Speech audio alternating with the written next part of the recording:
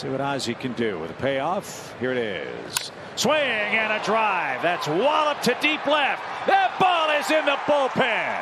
Ozzie Albies gulps another homer out of the ballpark. Number 22.